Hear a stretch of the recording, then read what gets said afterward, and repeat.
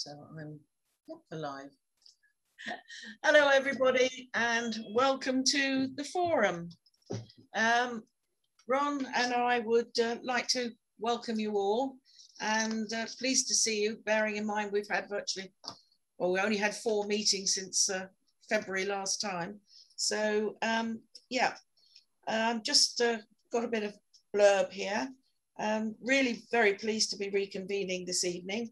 And for a lot of you, it may well be the first forum meeting that you've come to. So if that's the case, then I've just got one or two little things that we uh, we do at the meeting. First of all, please, can you keep the background noise to a minimum? All right, only speak one person at a time and not to speak over somebody else. Um, please keep your microphones muted when you're not speaking and then unmute when I call you to speak. And please indicate if you wish to speak by using the chat facility on Zoom by typing MIS, which is, as I'm sure most of you know, may I speak? And I'll call you to speak in turn. And please also type your name in the chat so that we have a rec record of who's attending. So uh, this meeting will be recorded and placed on the council's YouTube channel so people can view it afterwards if they wish. If you don't wish to appear, then just turn off your video. Okay. Um, if this is also the forum's AGM, so if anyone has nominations for the positions of chair and vice chair, please make these known now. We don't want them coming in partway through the meeting. Okay. Um, we have received one apology. Terry Taylor, have we heard from anyone else yet? No, no. Okay, then, right. So we're um, looking to, for our update from the police. Have the police arrived? They have told us they're hoping to come. So. Hi, PC George Simpson here. Oh, hello there. Welcome. And I'll pass it over to you. Uh, so first of all, good evening, everyone. Um, I, I, don't think I had a chance to meet many of you at all. If any of, if any of you, uh, my name is PC George Simpson. I'm the, the beat manager here in Midsomer Norton and uh, Radstock. Uh, you may well know my colleague uh, Mark Graham, who's been around a little bit longer than I have on the on this patch.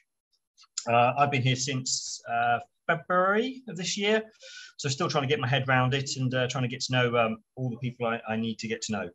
Um, in terms of uh, of an update, uh, I guess to a certain extent, I will be be fielded by questions from you guys if, if you wish to provide any.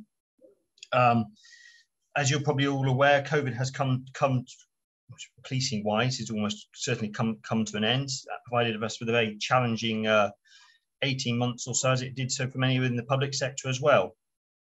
Uh, we are still trying to find our way through that and find our way to the best would describe as the new normal. I think it was uh, Justin Trudeau, the Canadian uh, Prime Minister, quoted.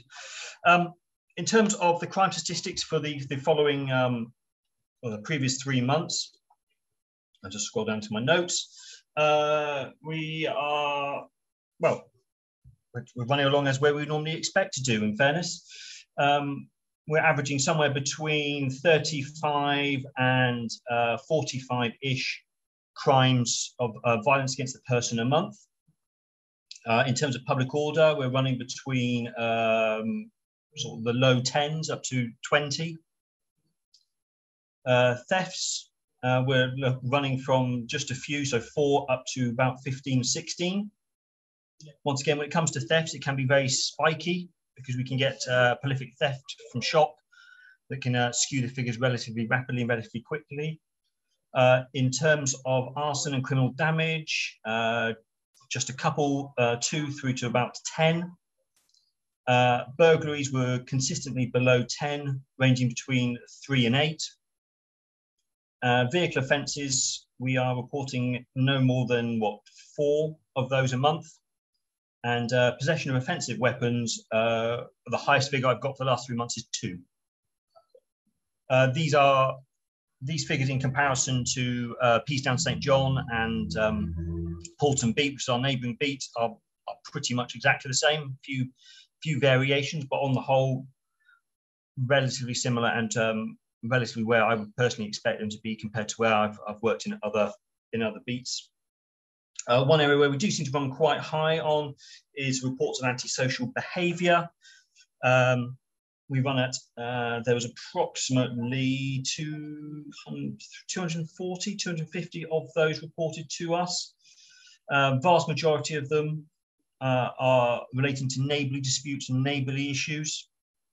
And then the rest of the breakdowns being relating to uh, locations, groups and, and vehicles. But clearly neighbour disputes are, are our main sort of uh, driver of our antisocial, antisocial behaviour.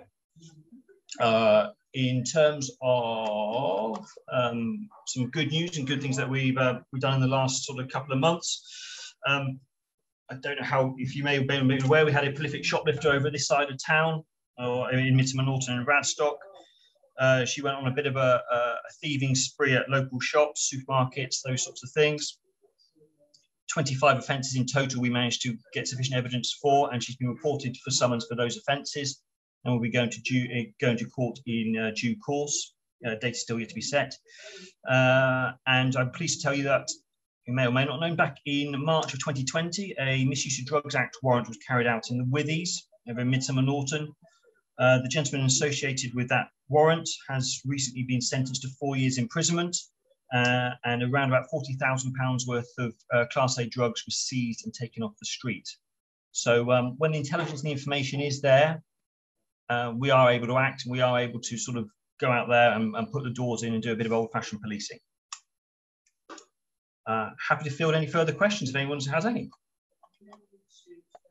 Um, Michael Evans, you wanted to ask a question? Um, yes, thank you, Chair. Um, those figures that you've given us, uh, thank you for that, by the way. Uh, those figures, are they all per month, like 250 ASB per month? No, that's over the last three three months. Three months, okay. And the other figures were also for three months, were they? You seem to uh, give yes. a range. Uh, yeah, yeah. But that was that was three months altogether. Will be four to sixteen thefts.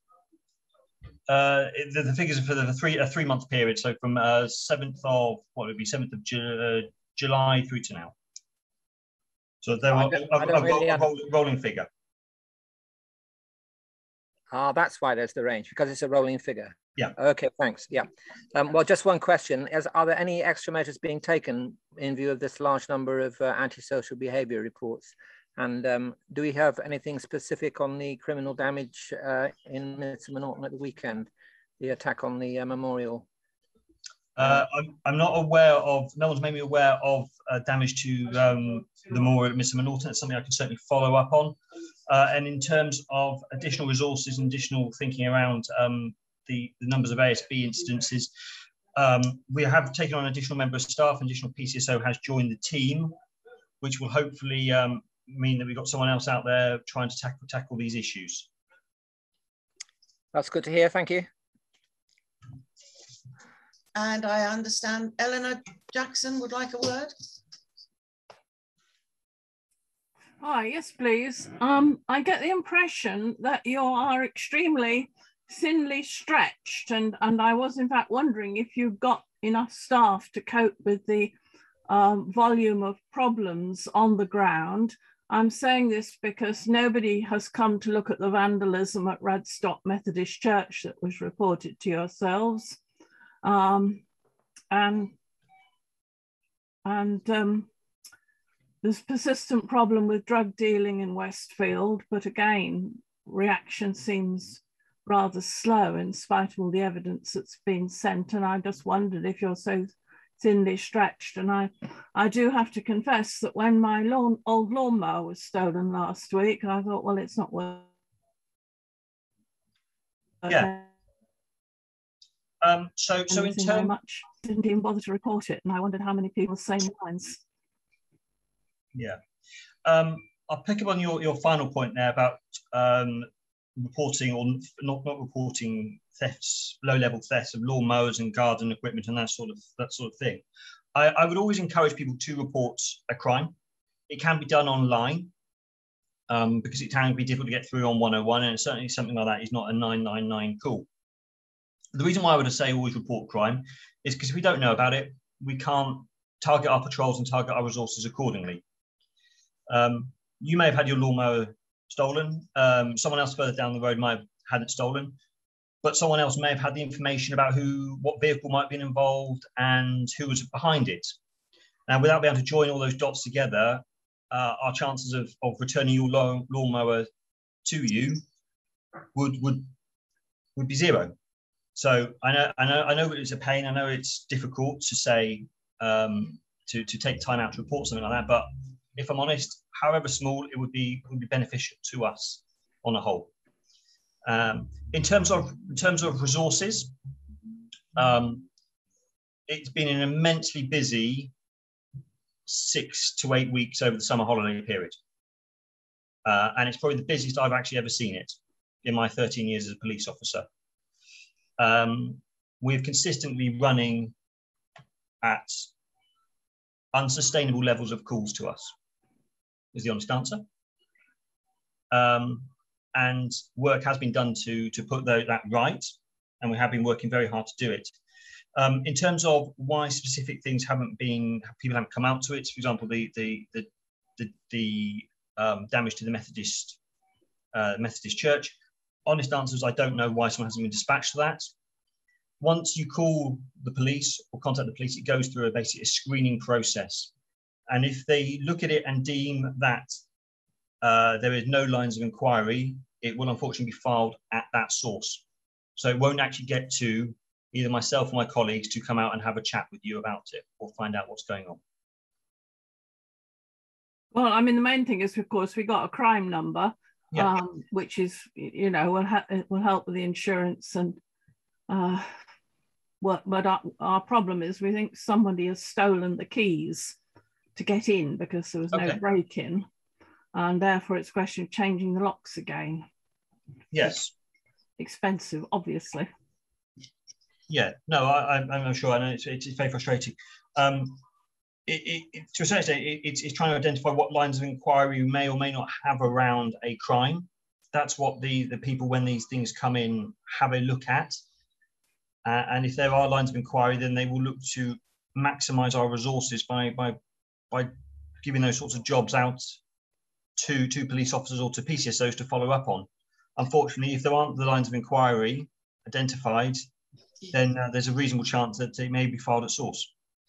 Right. So, um, would it be useful if Eleanor came to, uh, uh, you know, got in touch with you outside this meeting to take this? Yeah, no, that'd be very, you know, very useful. If, if the church is being particularly targeted and um, uh, having particular issues, then I, I, would very much like, certainly for one of our PCSOs to go down and, and um, have a chat and try and um, identify what can be done.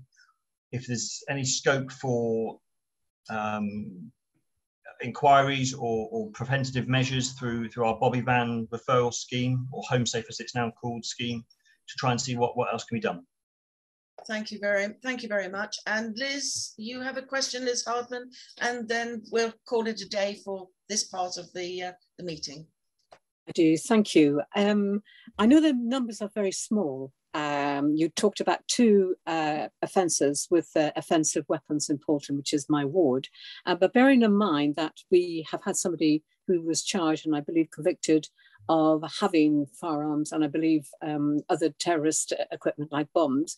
W what was the context of these two um, people who were charged with offensive weapons? Was it some sort of like pub brawl or uh, have we, well, hopefully we don't have a little network of uh, a terrorist cell or something setting up in Paulton. So thank you.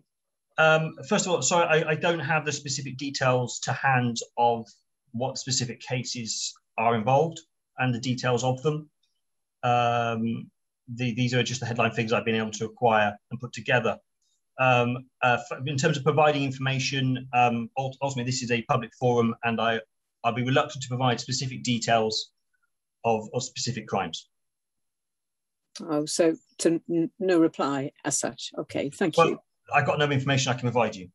Okay, thank, thank you. Well, thank you very much indeed for coming. I really appreciate uh, when the police turn up, it, you never know, you know, what information you're going to get. So um, thank you very much indeed for coming. Okay, awesome. Appreciate it. Thank you very much for your time. Thank you. Okie doke. Bye-bye. Right then, so we move on to um, item three, the local plan partial update. supplementary planning document consultations. And I would like to introduce Richard Down, who is the Deputy Head of Planning at B&NES, to uh, give us a presentation, please. Yeah, thank you very much, Chair. Uh, good evening, everyone. Um, I'm not sure whether it's Alison or, or it's, it's Sarah that's sharing the, the presentation. Thanks, Sarah. Um, so if you can go on to the, the next slide, please.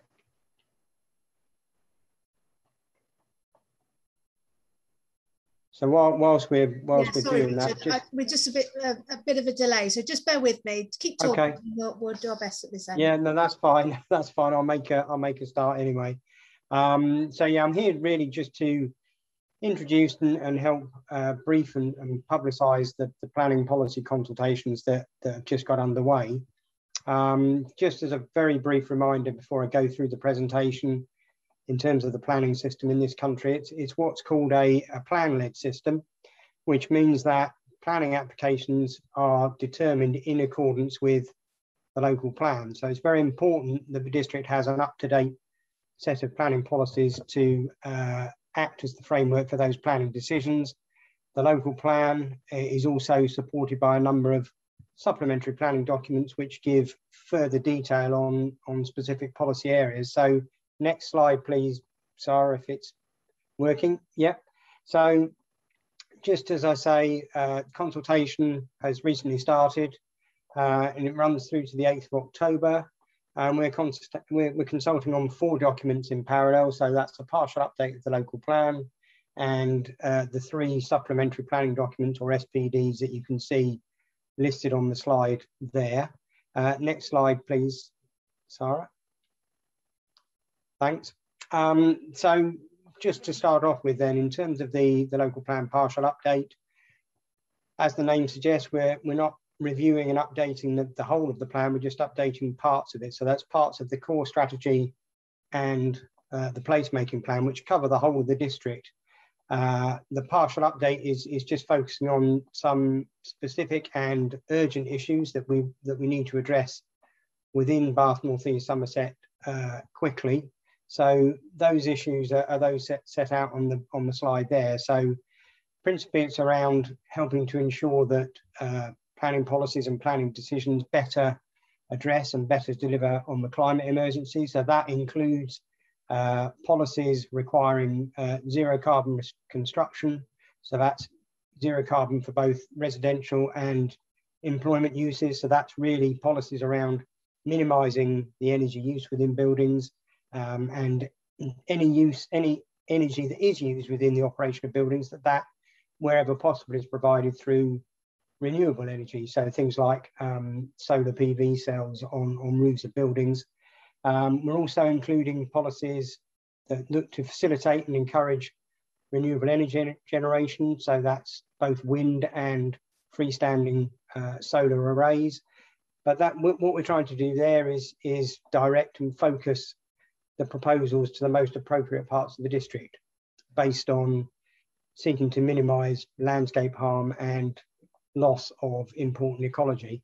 And then lastly, there's, there's quite a range of policies in terms of sustainable transport. So that's refocusing all of our policies so that they very much focus on promoting the use of public transport, walking and cycling before considering uh, the use of cars. The next area of um, policies that, that we are uh, amending and updating relate to, again, helping to deliver the council's ecological emergency. So we we've strengthened a number of policies in the plan that protect habitats and species, and also importantly, we're now requiring biodiversity net gain. So at the moment, development is, is basically required to minimize the impact on uh, biodiversity, but in the future, what we're trying to introduce is that actually not only do they minimize that impact, but they actually deliver an increase in biodiversity. So what, what's called a, a, net gain. And that's something that's being introduced nationally, but won't come into to play nationally until 2023. So we're, as a council, looking to bring that in more quickly. The other two areas, uh, the main areas of focus in the partial update are addressing the housing supply shortfall. So we, we're at the moment, we're not able to show that we can meet the core strategy requirement. It's really important that we have enough sites and land to meet that requirement. The point at which we don't, uh, we start to lose control basically over where residential development will come forward and we are uh, at risk, if you like, from predatory planning applications and, and planning appeals. And then the, the other area really is in terms of green recovery. So that's really trying to, to help facilitate economic recovery post-COVID, but, but do that in a way that it's, it's promoting clean uh, and inclusive growth. So next slide, please, Sarah. So as I said, the partial update, you know, does include policies covering the whole of B&NES, but there are some key implications for the, you know, for the Somer Valley area, which I'll just pull out now.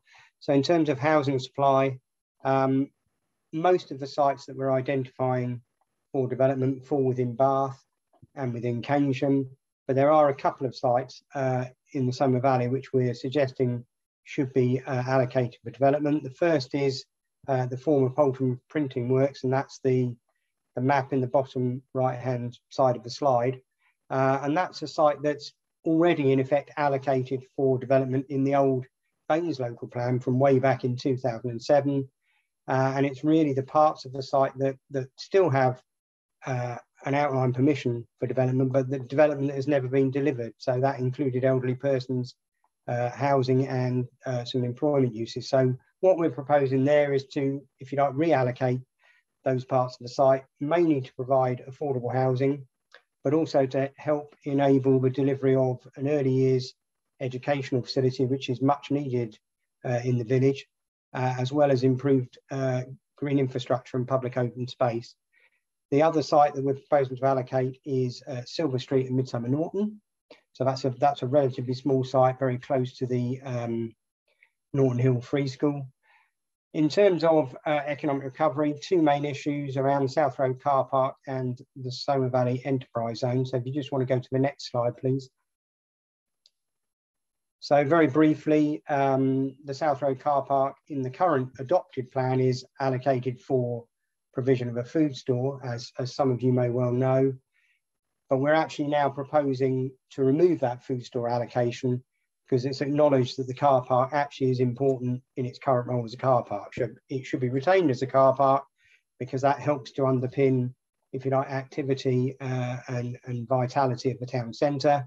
However, we do feel there's still a need for, uh, or the benefit of, a, of another food store close to the town centre in order to help underpin um, improvements improvements to the town centre and underpin um, you know shoppers continuing to visit the town centre.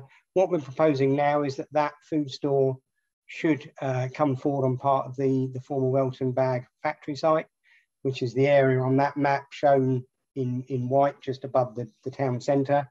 Um, so that food store would be part of a mixed use development um, on the southern end of the site and we would also, you know, want to make sure that there are enhanced, excuse me, enhanced connections through to the high street to make sure that people do make those, if they, you know, those linked trips. So if they're visiting the food store, that they also visit the, the town centre. Next slide, please, Sarah, Tara. So in terms of the Somer Valley Enterprise Zone, um, really what the plan is trying to do here is, is it's trying to help facilitate delivery of of much needed new employment space uh, and, and jobs in the Somer Valley. So the local plan will form the framework for uh, the local development framework or what the local development frame, what the local development order, sorry, will need to respond to. And that's a, an item later on the agenda. So the, the, the site is currently allocated in the placemaking plan. Uh, and on that map, it's the, the site shown in blue.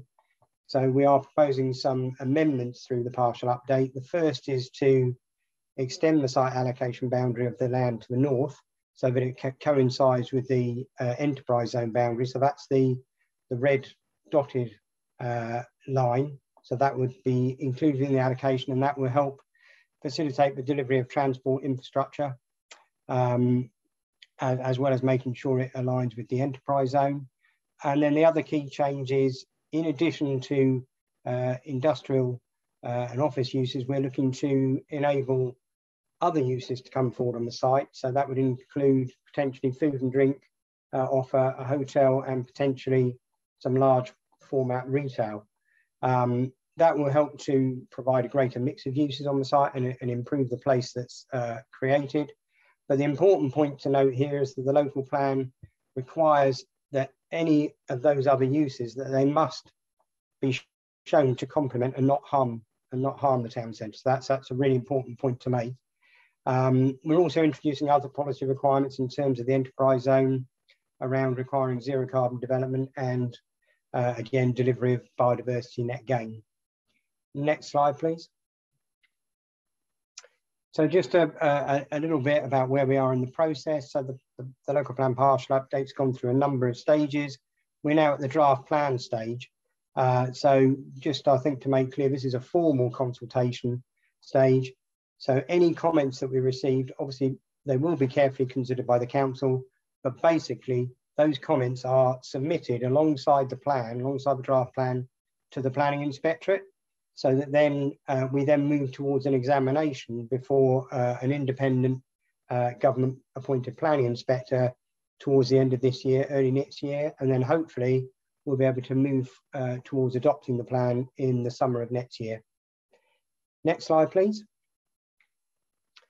So just very briefly on a couple of the SPDs, and there's an important differentiation here. In terms of the consultation on the uh, SPDs, that's a, a, a, less formal consultation. So they're at a draft stage. So any comments we get back, um, the council has much more scope to be able to change the SPDs at this stage in, in response to those comments. Um, so the first SPD uh, is the energy efficiency, retrofitting and sustainable construction SPD, not a particularly um, snappy title, um, but this one again is, is aimed at helping to um, give positive uh, and useful guidance to homeowners and occupiers as to how they can retrofit energy efficiency measures to their homes, things like double glazing, air source heat pumps, uh, shutters. I mean, there's a whole range of measures. So that SPD, uh, you know, we've currently got an SPD, but we've basically updated the technological information in that. We've added new sections on uh, affordable warmth and, and the hope is that that is now a much more positive guidance. But again, I would encourage people to go away and, and, and have a look at that uh, and provide us with your, with your comments. Um, the next slide, please. And then the other SPD I just wanted to briefly mention is in relation to transport and development. So again, this is very much aimed at um, sustainable modes of transport and, and again, addressing the climate emergency. So that includes uh, a section on parking. So that's both parking standards and the design of parking spaces. It includes guidance on uh, ultra uh, low emission or electric vehicle charging, uh, walking and cycling infrastructure design. So that's trying to make sure that footways and cycleways are accessible and safe uh, to use uh, in order to help encourage greater walking and cycling. And then travel plans guidance, that, that's really about sort of major, particularly employment developments and trying to make sure uh, that employers and, and, new development, again, that that you know is, is focused on uh, public transport, walking and cycling rather than car use. Um, next slide, please. So very briefly, I'm pretty much at the end now. So just as a, a, brief reminder, consultation on all those documents from the 27th of August through to the 8th of October. There are a series of events, so we're going to all the forum meetings, but there's also a range of uh, webinars, topic-specific webinars that people can, can join. Um, we would encourage people, if they can, to comment online, and there's there's there's an easy-to-use uh, response portal and questionnaire on the website for people to use. But if you you know if people haven't got access to a computer, then obviously they can send in paper copy comments, and again the, the, the address has been sent out to people. So we would, I, th I think, just you know, it's, it's almost a, a, plea to you all really just to both comment yourselves on those documents if you have time, but also to encourage your communities to respond because we, you know, it's important as a council that we do hear the views of, of residents uh, and that we can respond to those and they can help sh help shape our um, policy framework. Uh, so I think that's that's an end of the presentation. Uh, if, if, you've got any questions, more than happy to take those uh, now. Right, well, we were going to have questions at the end, but um, if Liz would just like to uh, have a quick, quick one now. Um, it really is obviously about the Somer Valley enterprise development, as you can understand, which is important. And it may be this, this comes under the uh, further on down um, the agenda, but down the agenda, we're looking at the local development order, which is slightly different. So Richard, I think it's the second time I've, I've heard this. So and I don't think it'll be the last, but if I could just say, obviously important, we are very concerned about the extra 85 homes being planned for the Purnell site. And we were, we, you know, we promised that more or less the 500 homes that we've, we've got would be it because schools, etc., infrastructure can't take any more. And we were, uh, the outline planning permission was for a continuing care home. So uh, I don't think I can see any justification for not carrying on with continuing care home other than there's a shortfall within B&NES, mainly mainly met in Bath and um, in uh, Keynsham. Um, and, and therefore Paulton has been asked to um, supply some more homes. So I just wonder, is that the justification? Um, no, I mean, the justification is, I suppose, well, threefold probably. Firstly, the site is already allocated for development, um, including residential development. So, you know, it would be it would be likely to come forward for for housing development anyway. Uh, and we feel by allocating in the plan, actually, we can secure a better a better type of development with more affordable housing and uh, other benefits as well. In terms of the elderly persons uh, accommodation, you know, the evidence was suggesting very strongly that that that, that isn't going to come forward and that isn't going to be delivered. Uh, and and you know, we've we've had that information given to us over uh, a number of years now. Um, and and in fact, the you know that scheme and the site was debated at the previous uh, examination into a local plan, um, you know, which was sort of three or four years ago. So um, we just felt it was better to have a, a, a beneficial use, of the site. And I suppose the final part of the justification is this will provide much needed affordable housing, but also particularly uh, an early years facility, which, you know, is needed in the village now. Uh, and this is a means to helping uh, secure that. Chair, please could I ask a supplementary? Um, Richard, the only thing is this community asset, this um, nursery, um, it's already got planning permission and maybe the planning permission has lapsed, but that's already gone through. So I can't see why that, that would be a justification. Well, yeah, I, I agree it's got planning permission, but, but that doesn't necessarily mean uh, that it's going to come forward. Um, what we're hoping is that, you know, in effect, by enabling some housing development, that will help to fund the provision and the implementation and the delivery of that of that early years facility. Because again, at the moment, it's got planning permission, but there's no evidence to suggest that that is actually going to be um, that it's actually going to be built. So as I say, what we're hoping is the housing mm. development will help to to to, to cross fund, if you like, and enable mm. that that provision to come forward. Thank you. Thanks, Liz. Right, I'd like to come in now. I, we do have some other people who've asked to ask a question. But if we can go to the end of um, all the uh, presentations. yes presentations and ask the questions at the end, if you don't mind, please, it'll just work better because some of you might find that your questions are answered by other people, hopefully. Okay, so um, if we can, I'd like to move on to item four on the agenda, which is the WECA Transport Corridor Improvement Project and introduce Phil Wright to you, who's the Public Transport Programme Manager at the West of England Combined Authority. Thank you, Chair. Um, hello, everybody, and uh, thank you for letting me come along and speak to you tonight.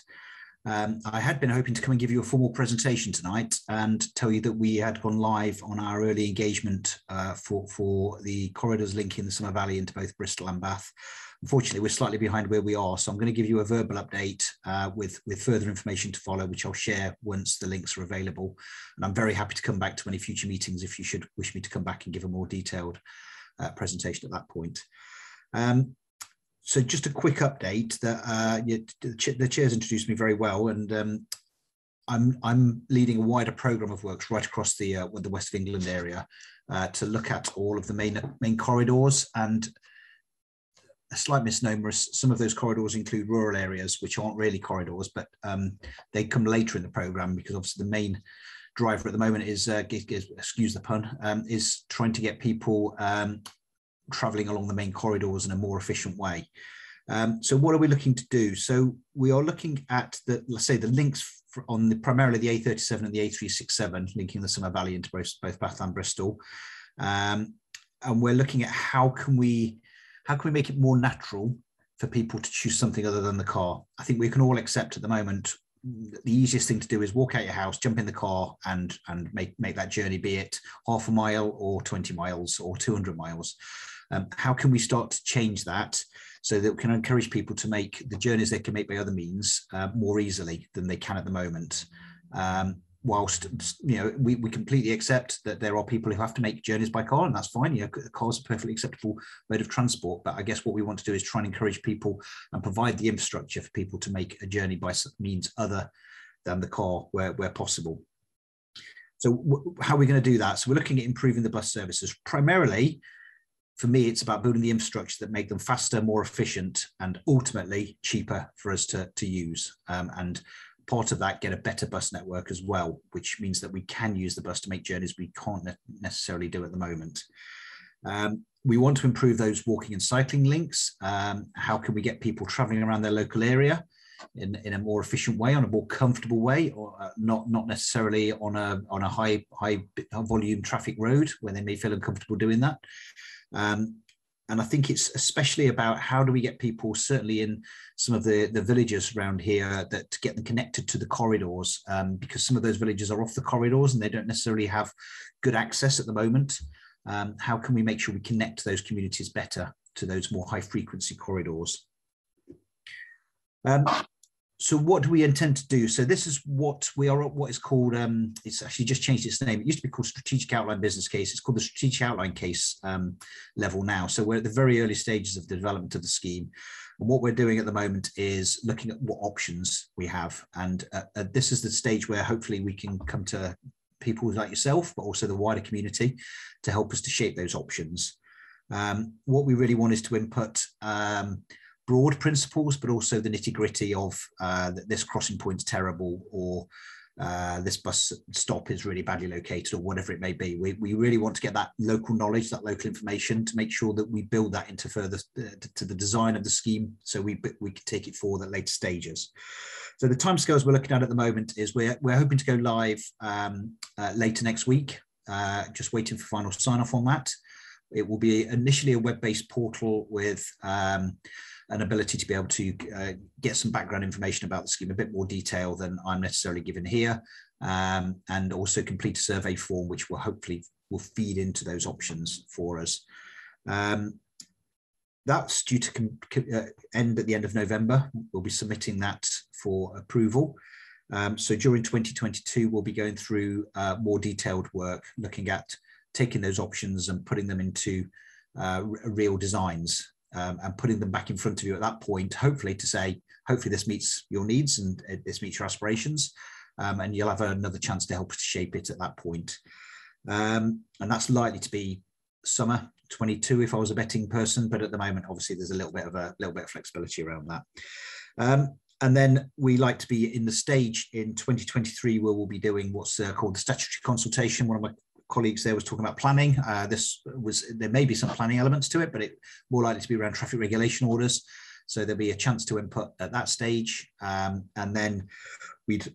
Uh, I, I, keep using this phrase, so I'll use it again. Um, first spade in the ground in 2023 to to, to, to start to commence uh, building the interventions. I guess that gives me quite a lot of scope to flexibility on a 12 month timescale there. Um, so it's um, yeah, it's it's a fairly quick timescale. I guess that's the impression I'm, I'm, I'm going to give you.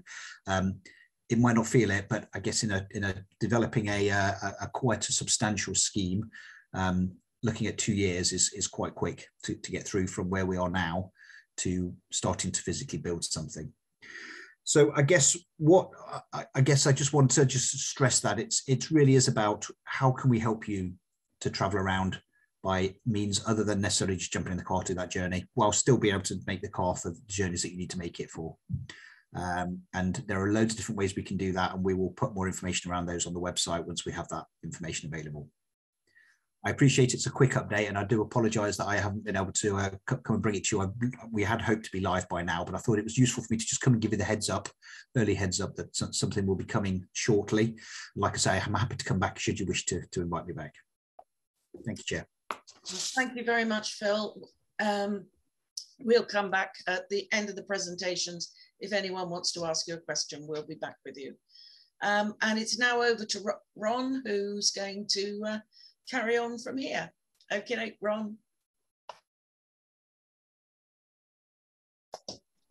Hello, everybody. Um, a lot of you will have not come across me before. I'm a local businessman that does most of my business in Birmingham. Apologies to WECA and their transport policy. Um, but um, I was elected as vice chair of this uh, forum. And then about three weeks later, before I'd even got the chance to hold Lynda's hand, um, down came COVID, and our officers, our regular officers, did the right thing, pulled all the right plugs. And so, to be honest, I've never chaired a meeting before. Um, but I have a lot of experience of ch chairing Zoom meetings over the last two years, believe me. Um, so welcome to everybody from me. Um, and uh, let's hope we'll see a lot more of each other in the future. Um, I've got to introduce now um, Richard Samuel, Deputy Leader and Cabinet Member for Economic Development and Resources, and Simon Martin, Director of Regeneration, um, who are going to introduce this item next to us, which also includes three presentations by B&NES's officers. So over to you, gentlemen. Thank, thank you, Ron. Um, well, I just want to say it's quite a good point to come in, really, because uh, the, uh, the transport corridors that uh, Phil Wright has just mentioned are actually part of a tripartite set of policies going through the West of England Combined Authority at the moment. Uh, so th there is the transport investment. Uh, the, the is preparing work on the uh, its plan for the area. it's a sustainable development strategy and of course, we have a climate emergency that all councils in the WECA area have declared. And all these things come together. They're all indivisible and they all work towards or should work towards the same ends. So I just want to say a little bit uh, before we go into more detailed presentations uh, about where I'm coming from on this. So uh, within the council, I took over responsibility for economic development in May from Councillor Tim Ball uh, who'd carried out carried out that job for the previous two years. And as you might expect, coming into a new role, uh, somebody somebody like me will look at something uh, in a different way, quite possibly. So I'm not at the point of changing things at the moment. Uh, I'm trying to absorb what work has gone on, what purpose it's leading towards. But one thing I'm already very clear on is that the council needs to refresh its approach to economic development across the district uh, the last strategy the council produced was in 2014. It's well out of date now, and uh, we need to uh, look at that again, particularly as the combined authority has arrived on the scene since we last had that strategy. And the combined authority has a lot of resources and money uh, potentially to help with the tasks that we've got. For me, uh, and looking at the Somer Valley particularly, there is no point in doing transport investment unless it needs, leads to sustainable economic growth locally. There is no point in having a fast travel corridor to Bristol or Bath if all that does is encourage people to use their cars more. So one of the challenges will be whether we can, whether WECA uh, and ourselves can come up with a, um, an approach to particularly public transport that is timely, affordable and reliable. And at the moment, uh, the bus services in North East Somerset are, neither, are none of those. Uh, the bus services in our area are generally too expensive. They're not always timely, uh, as we know, and often there are not late night services, and they're not always reliable. So there, there is a big challenge there. And I know that uh, the Combined Authority is going to look at the, the bus network in the west of England. Um, so that's kind of what I preface things really. Um, in terms of the specifics you're going to hear about, the, the work in Midsomer Norton, the enterprise zone and so on, um, these are there to be shaped in some shape or form, although of course we've been doing work on these for some time. But uh, I expect in the autumn I will have to make some final decisions on the way forward. And you know, today what would be really useful is to hear from you uh, what you think about where we are at the moment and whether there is room for improvement. So um, Ron, that's what I, that's all I'd like to say by way of introduction. Now we hand over to Simon and his colleagues. Thank you, Richard. I'll just quickly introduce myself. I'm Simon Martin. I've been appointed to the post of Director of Regeneration and Housing, which covers a range of place-based services and the council's um, through COVID been through quite a lot of reorganisation. So we've drawn together our economic development, business and skills, housing, um, regeneration and environment services under one area, um, primarily as Richard's discussed, with the aim of shaping and really providing a new focus and emphasis towards um, meeting your local aspirations uh, and starting to develop our plans to get the best out of investment. And there is um, post COVID, and as, as we've migrated through from a COVID response where we've supported something like four and a half thousand businesses through about 60 to 70 million pounds of grant funding to support those businesses through to recovery and some of the work we're going to present today around the high the love high streets and, and the covid recovery grant funding that we've been using to support those initiatives through to future funding i think what we're really keen to do is to engage in a different way and start to develop a much more strategic sort of approach to how we link together the investment opportunity and how we bring that to bear to deliver some very real outcomes locally. So I think what, what I'd like to offer or proffer is that through these pres presentations, please, please don't see them as fixed, fixed points that are um, not open to opportunity and discussion. Uh, and moving forward, we're really keen to engage in that discussion, perhaps more proactively and productively than, than we have um, in the past, given that you know COVID has really changed the emphasis and, and created a lot of opportunity coming out the back of it.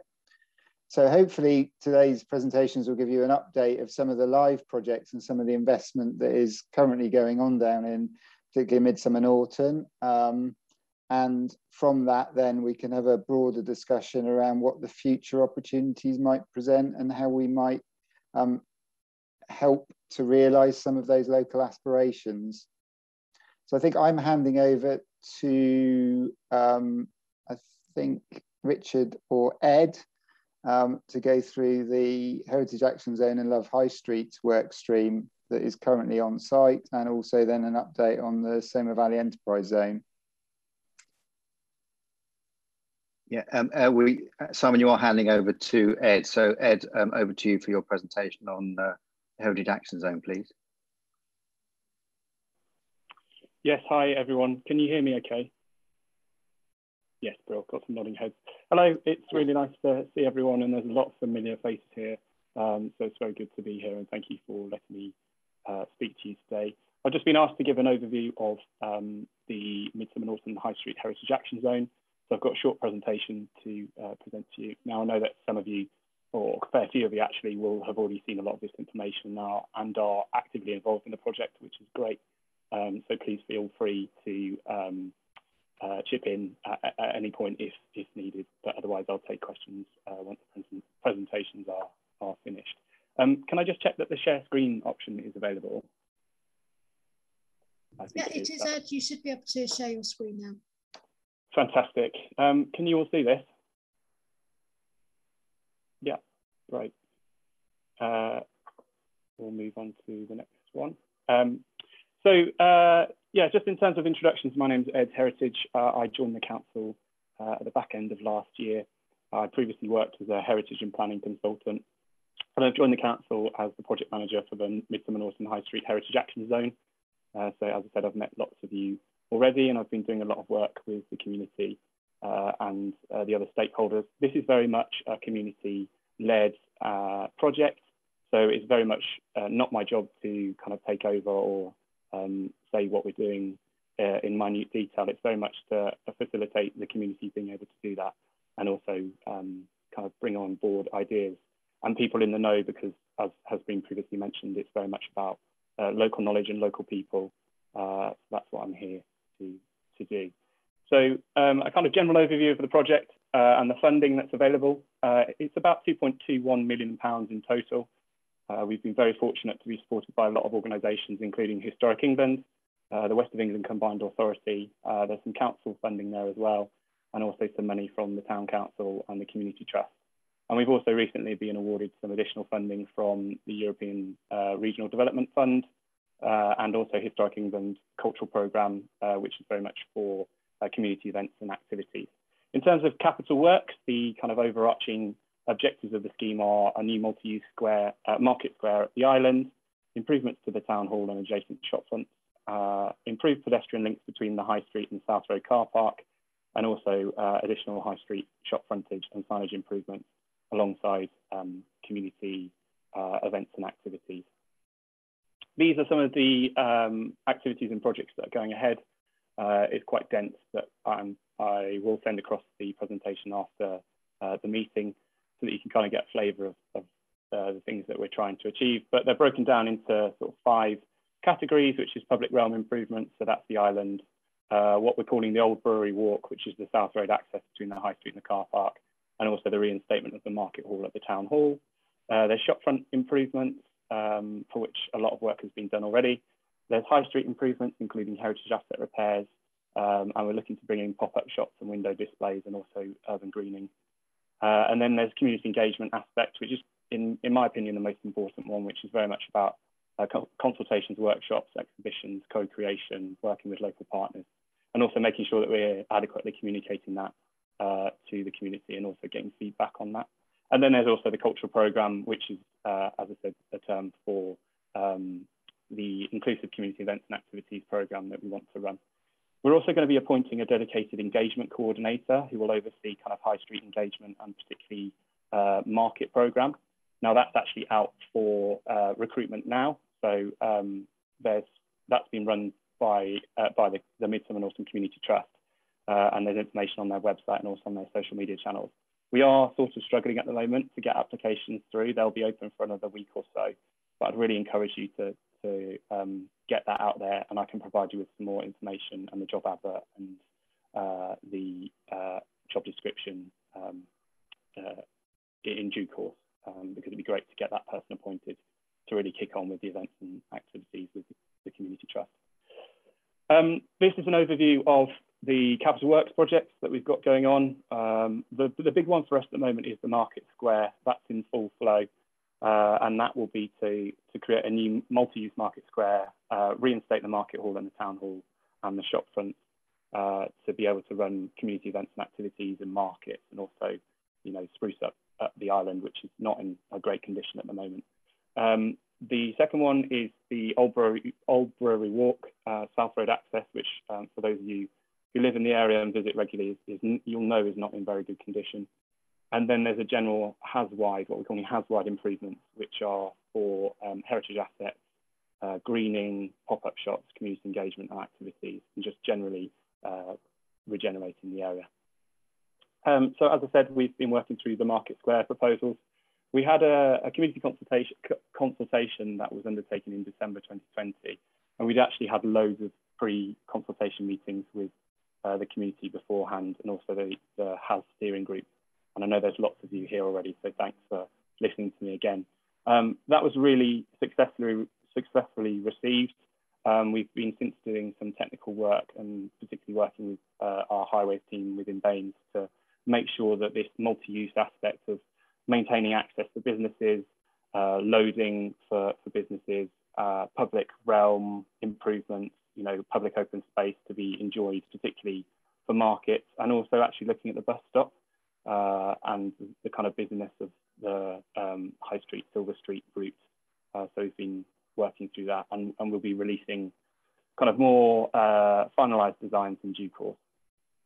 Uh, these are some of the concept um, plans that we've got. You'll, you'll see that there's a kind of everyday parking and general use uh, that provides additional um, public realm and open space for people to enjoy as opposed to just being very vehicle dominated.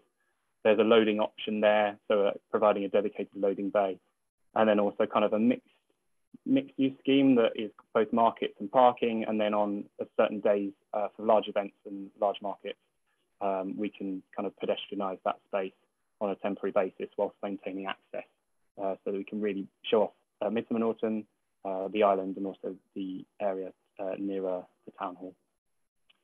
The town hall itself is part of the proposals. Um, we've got roughly £335,000 allocated for the reinstatement of the market hall there's a much wider town hall transformation project, um, complete refurbishment that's going on. So I'm working very closely with uh, the town trust, the town council, uh, to bring those um, uh, those designs and, and, permissions to fruition. Um, and we'll be working with them uh, in the next uh, couple of years to, to be able to bring that forward as well. South Road access, um, it's, it could be a really, really good space, uh, but at the moment it's, it's just um, it's a bit run down uh, and it's struggling a little bit, but it's so heavily heavily used as people move from the car park uh, on South Road to um, the High Street that we really should be doing something about that. We'll be bringing forward improvements there as well. Uh, and we're really pleased to be working with some amazing uh, landlords and owners who are really excited about the potential of this area, particularly uh, towards the South Road car park side as well. And we're looking to um, sort of introduce meanwhile uses, community hub, um, and also public realm improvements in that area. And then there is the shopfronts and signage improvements. Uh, you'll see some examples from the centre of, of uh, the city in Bath here. It's been really successful in the centre of, of, town and, and, we're really keen to introduce this in Midsomer Norton uh, get people excited about those shop fronts and some of the vacant units that are available at the moment. We've had some success already.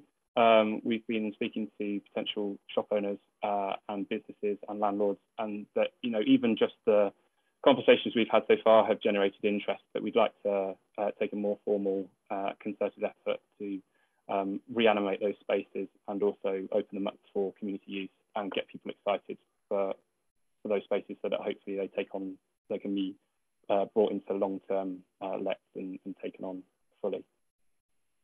We've undertaken a really, really detailed high street shopfront and facade study. So we've actually looked at every building on the high street and within the Heritage Action Zone uh, that predates 1960. We've produced uh, property, property sheets for them, which includes a list of suggested actions. Uh, and we are introduced or have launched a, a small grant scheme to be able to um, help um, shop, shopfront, um, uh, shopfronts and, and shops and, and landlords bring forward improvements uh, and that's been released and will be kind of publicised more widely. But we've again had really constructive uh, conversations with uh, with people already, and you should be seeing some shopfront improvements coming forward in the next year or so, which is great. Uh, we've also been awarded cultural programme funding of £85,000 for community events and activities. That's on top of the funding we've already been awarded. As I said previously, that uh, includes a salary for a position uh, which is two and a half days a week, which is for the engagement coordinator, which we're currently recruiting for. We've just been given £183,000 additional funding from Historic England for uh, upgrades of materials at the island. Um, Historic England are great supporters of ours, and they're really keen to see this area improved, uh, and they've put their money where their mouth is, which is great. And then we've also been allocated some money from the Welcome Back Fund, uh, specifically for a community hub uh, and temporary toilet facilities, which are, are, much needed and we really want to support. Uh, I think that's uh, that's the end of my presentation. Um, it kind of gives you a, a flavour of an overview of, of, what we're doing. As you can tell, there's quite a lot going on, uh, and the community are really getting behind it, which is, has been fantastic. And we really want to um, kind of lift up people within the community uh, and kind of publicise the good things that people are doing already, um, and and kind of bring all of those networks together uh, because there's there's so much stuff going on um, that we think is fantastic. It's just about how do we make sure that come all of this stuff comes forward comes forward coherently and benefits everyone, even those we who might be on the sort of fringes of our community. So thanks very much. I'm uh, very happy to take um, questions after the presentations have been finished. Thank you. Thank you, Ed. Um, I've got to say, you've got a wonderful name for the job you're doing. Absolutely tremendous. Yes. Um, uh, yeah, yes. Be, Thanks, Ron. Okay, there will be questions afterwards. So yeah. um, if anybody could get them ready um, and let the ladies know by by uh, pressing your speak button, um, we'll get to them very shortly after these presentations. Thank you. Fantastic. Thanks. Uh, thanks, Chair. So um, it's Richard Holden again. Just wanted to introduce um, Kevin Hunt, who is a director at Jones Lang LaSalle, and Ed Whitney, who's a director at Arcadis. They are going to um, uh, give a run through of a presentation. It is quite swift, I have to say, a run through of a presentation on the local development order that um, Richard Daone has already mentioned that we are looking to deliver or you looking to utilise to, to enable delivery of the um, uh, economic intervention at the Somer Valley Enterprise Zone. So um, I will hand over to uh, Kevin uh, now. Thanks very much. Good evening, everybody. Um, so I will take you through, a, as Richard said, a fairly brief presentation today, but I'll talk at the end of this session about um, some further engagement that we'll be doing over the coming weeks and months. Um, can I go on to the next slide, please? Um, thank you. So yeah, I will do a brief introduction in terms of what an LDO or local development order is, um, how that fits into the planning policy context, um, and then I'll, I'll, take you briefly through the, um, the, the, scheme development and the illustrative master plan, uh, look at some of the benefits of the scheme as we see them, and then, and then as I said, look at next steps and future consultation. Uh, next slide, please. Uh, and again, please, thank you. Um, so th this is very much the start of, um, of our consultation around the um, Somer Valley Enterprise Zone local development order. Um, there will be um, further consultation over the, the, coming weeks, but there will also be a formal and statutory consultation once the LDO is prepared. Um, at this stage, we are very much working to, to prepare it, to understand what works on the site, and of course to seek views of the local community, which is why we are really keen to, to be here tonight and over the next few weeks to hear your input. So um, this stage of consultation is really important from my perspective because it allows us to hear your views and that can inform the design as, it, as we move it forward. Um, yeah, as I said, so your, your comments will then inf inform that design development. Um, next slide, please. So a local development order um, is effectively a form of a planning permission um, on, on a defined site, which um, defines the type of development, the type of uses, um, and the amount of development that can be built. Um, and the reason local development order is, is important and um, really, supported in planning policy is because once it is in place, it allows investors or developers um, to, to come on site more quickly and to use a phrase that's been used earlier tonight, to, to put shovels in the ground and start to, to develop um, buildings which helps to support economic development and jobs. So the, L, the LDO is formalized through the planning process and is subject to this consultation. But once it exists and once it's been adopted, it enables um, quicker um, commencement of construction, um, and therefore is a real benefit when we're looking at economic recovery and, and growth within the Somer Valley. Um, next slide, please. Um, Richard um, Daone in his earlier presentation touched on this, but just to confirm, so that the site has been allocated for um, employment related uses for a number of years, um, and that allocation will be carried forward as part of the local plan partial review uh, with some amendments to that allocation to change the extent of it, as you saw on the plans from, uh, from Richard, uh, and to include a slightly wider range of uses, which might include um, food, drink, hotel, and, and some retail. Um, and, and the work we're doing very much seeks to align with that, that emerging policy position. Um, next slide, please sorry, and, and again, thank you. Um, so we've been working on this on this site for um, a good number of months now. Um, and back in March 2021, we submitted a formal pre-application inquiry to B&NES as the local planning authority.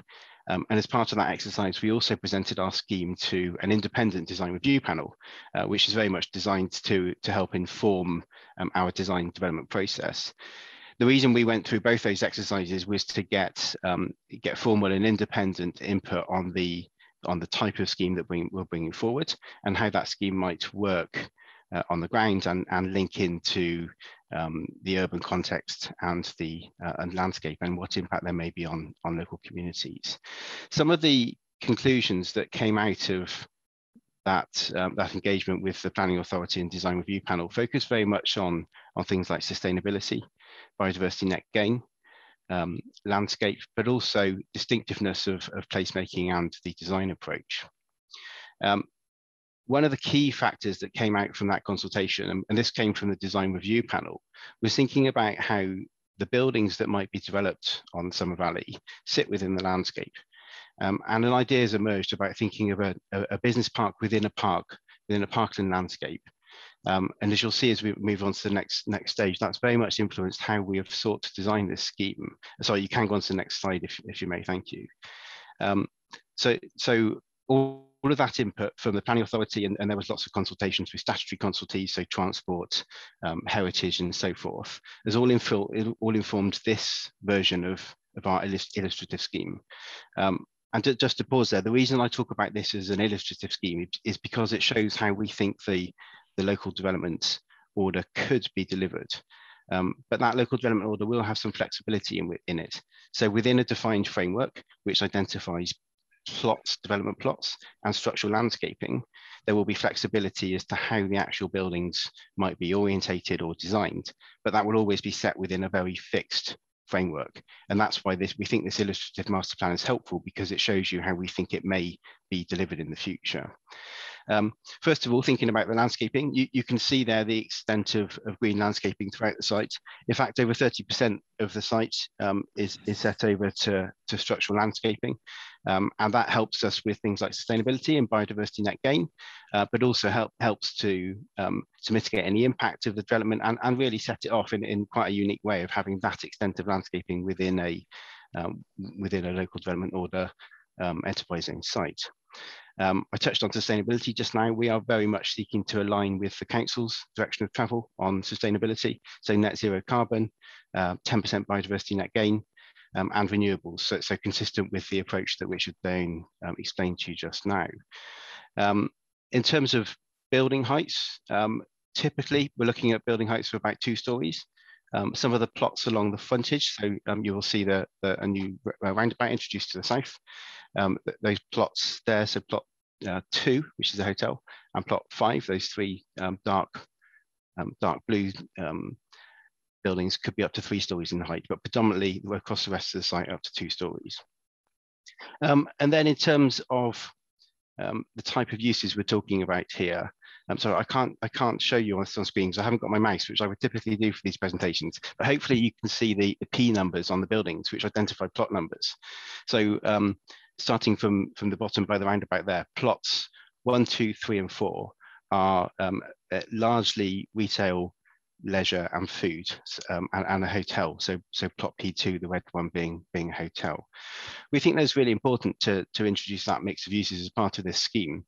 Um, in part, they provide amenities for the for the wider um, occupiers of the site. So if you're coming to work on this site, there will be some amenity offer, which avoids you having to travel um, away and, and, create, and create some, um, some, I suppose, some identity on the site itself. Um, but that those, those uses are also higher value and therefore help to support the viability of the overall scheme. Um, and indeed contribute to the mix of jobs. Um, and I'll come on to talk about the, the other types of uses in a minute in terms of that mix of jobs that's on offer. Um, and then across the rest of the site, um, if we look at the, uh, the, the central spine road, uh, and beyond that, plots um, five and six, they are predominantly office and flexible business space. And then as we move up to the north of the site, we get into more traditional employment type uses. So offices, uh, general industrial and distribution. So, so the, the dark blue larger rectangle P10 is a distribution space. So this scheme therefore provides a real mixture in terms of um, types of jobs, um, lots of traditional employment, but also lots of modern employment in terms of office and flexible space, uh, really seeking to maximize um, opportunities for people to come in and invest and create that economic uh, development and, and investment. Um, the, the, the, final part that we wanted to touch on today was about our approach to transport um, and accessibility. And I'm going to ask my colleague Ed to then come in and talk, talk you through a few slides on how that transport strategy is working. Good evening. Uh, thank you, Kevin. If you could move on to the next slide, please. Thank you very much. Um, yeah, so, so on the subject of uh, transport in relation to the LDO for the enterprise zone, it's clear that uh, in order to bring forward the site in an appropriate manner, it's essential that we support sustainable travel. Uh, and in order to do so, we need to introduce a number of measures which, which actually encourage people to travel uh, using uh, at the top of the hierarchy, walking and cycling modes, uh, but, and, and also by bus, with the, with the private car obviously being, being a, functional uh, transport mode, but uh, by no means the, the preferred means of access to the site. So um, we also need to prepare a transport assessment which addresses the issues that might be caused by vehicular travel to and from the site. And that transport assessment will be, and I say will be because it's a very much a work in progress at the moment. We are developing um, our thinking around uh, the development of this site. Um, that transport assessment um, is being defined through our scoping discussions with the local highways authorities. Um, and in, in that instance, we, we're referring to Bath and North East Somerset highways officers, but also Somerset um, highways officers. Uh, we've also engaged with First Bus and as Kevin mentioned with, with Design West. Um, so the transport assessment, as I say, will be a comprehensive document which, which both reviews the impacts of the scheme in traffic terms, but also encourages um, people to travel sustainably. Uh, and the inputs into that assessment um, include, as you can see on the slide, traffic data collection at a number of locations. So they're in the, in the red circles um, on, on the plan, but also our observations on site and an audit of, of accessibility through the study area um, by bicycle, um, by traveling on foot, uh, by bus, and, and also for HGVs as well, noting that, that some of the land uses will may may generate some HGV traffic. Um, so I think if we move on to the next slide, we can just look at some of the issues that that transport assessment is is seeking to address. So at the top of that table, we've got some icons of uh, a cyclist, a, a pedestrian, and, and an EV uh, charged car. So in order to encourage um, access by sustainable modes, th there's a number of different measures that we would introduce. First among them would be the um, bringing forward of a travel plan, which encourages behavior change towards sustainable travel for people visiting the site and also working at the site. The construction or rather enhancement of a walking and cycling route, that's about 1.2 kilometers to the Norton Radstock Greenway, um, bringing in the, the right levels of EV charging facilities on site and carefully calibrating the amount of car parking um, within the within the curtilage of the site so that we both um, ensure there's no overspill elsewhere into the surrounding area, but also without encouraging too much um, private car use. Um, the, the, site itself will be designed to be walkable and cyclable, and, and some of the illustrations we've seen before um, have indicated the planting and, and the road widths that support that. Um, we also expect to improve the bus facilities um, on, on the road outside the site um, with, with enhanced waiting facilities, real-time information where possible, and improving crossing points so that it's easier to cross the A362. Um, and finally, the last two rows on that table uh, relate to motor traffic and the private car we recognize the A362 and the wider network is, is a busy network. Um, but at the same time, we, we recognize that there's going to be traffic congestion um, with or without our scheme. And so we need to find the right level of mitigation um, to, where necessary, improve and increase the capacity of the road network to, to make sure that the impacts of the proposed development are not severe and are not detrimental. And so that's that's one of the key outputs of our transport assessment, which I say is underway, is what are the measures we need to bring forward to support the development of the site and make sure that traffic isn't too, too disadvantaged. Um, so if we move on to the next slide, please. Um, it, this is just a, an illustration showing where some of those key uh, emerging improvements might be.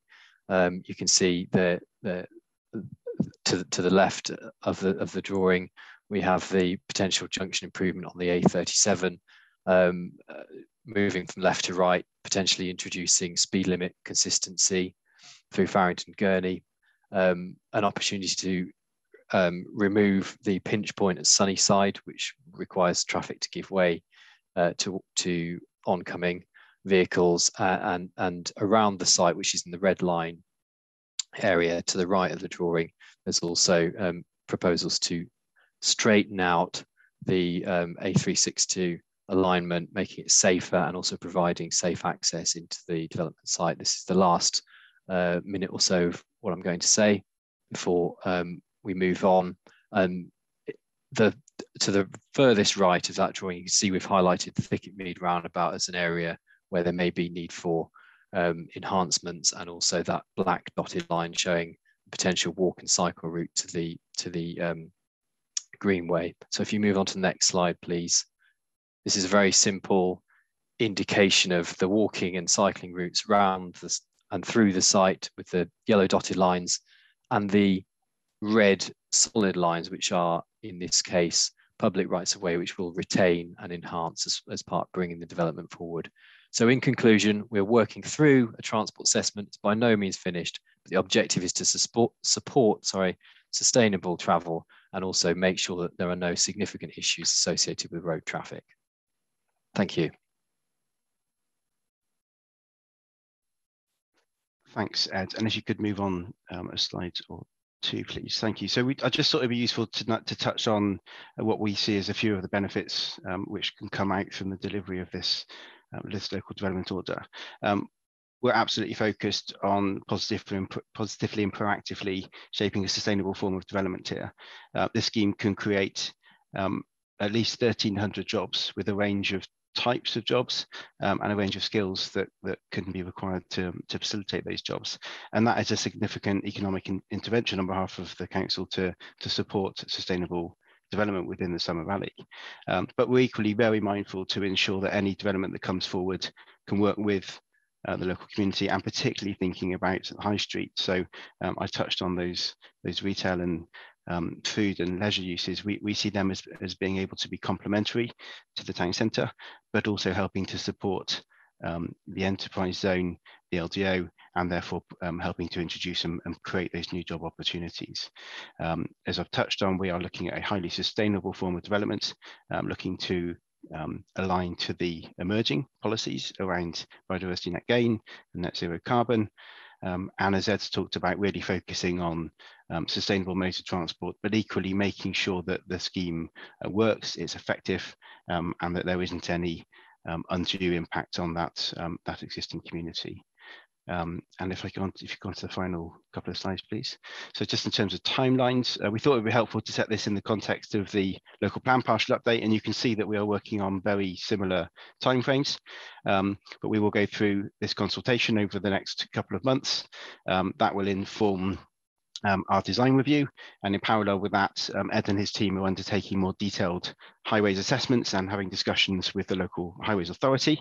Um, and um, all being well, we therefore expect to be able to complete that design development work um, following further consultations with the planning authority uh, with a view to submitting the LDO um, to go through its formal and statutory consultation uh, and then looking at adoption um, sort of uh, quarter two, quarter three in 2022. Um, and the final slide, please. So um, thank you for listening tonight. Um, welcome any questions, um, as ever, following the, following the last of the presentations. Um, if there are any um, immediate questions or, or feedback um, outside of today, there's an email address there, consultationevents.southwest at eu.jll.com, in which you can contact us. and then from the on the 27th of September, we will be holding a public web, uh, webinar, and that will be advertised extensively to the local communities. And that will be an opportunity for um, for the for the wider community to come um, hear our proposals. We'll, we'll, have a little more time to talk in detail about the scheme, um, and I'll have some of my colleagues from the design team with me to, to go into um, some of the specifics as, as to how those design elements are working. Um, and that will effectively open up a, a 28 day period of public consultation where we will very much welcome feedback. Um, all the information will be on the council's website and will be available by various other means.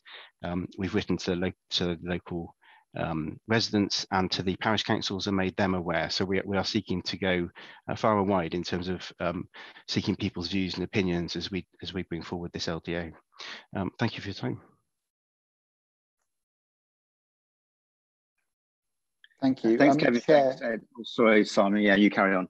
Yeah, thank you. Chair, I'm just um, conscious of your timetable and um, the number of questions, and I was just going to ask a question. Would you like us to pause there and you um, cover your question and answer, and we can bring the last part back to the next forum around how we saw these opportunities drawing together as a more kind of program-based approach approach to future investment opportunity, or would you like me to carry on? I'm just very conscious of the of the meeting time and whether you want to use the last 10 minutes or so for your Q&A.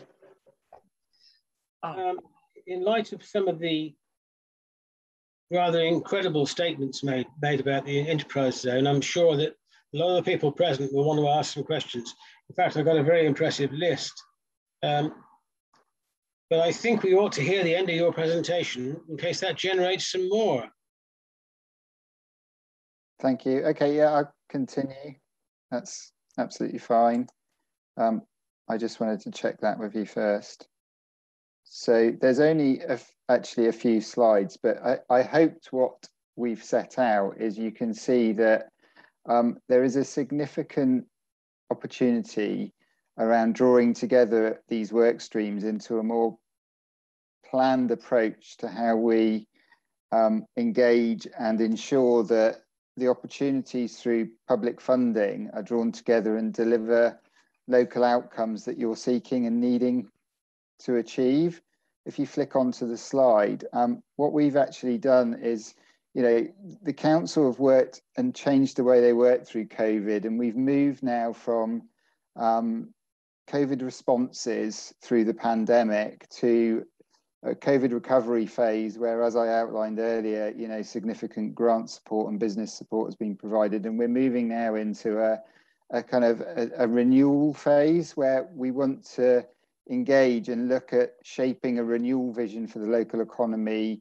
The council have formed an economic recovery and renewal board. I know a number of you have have, have been engaged and involved in that, and some of the local stakeholders have been involved in in the consultation and engagement process that formed that strategy. It was around a collective and partnership based approach for the new vision um, to create a vision that sets out a creates a, a fairer, greener, more creative and connected city region, a region with Bath more with Northeast Somerset than and Northeast Somerset. And there are a number of proposals and plans that flow from that um, mechanism. And what we'd like to do is use some of that to start to shape how we create a, a more um, planned investment program for not just not, not looking at the Somer Valley as a whole, but for each community within the Somer Valley. And they will all need different interventions and different ideas and different opportunities to come forward. So if you move on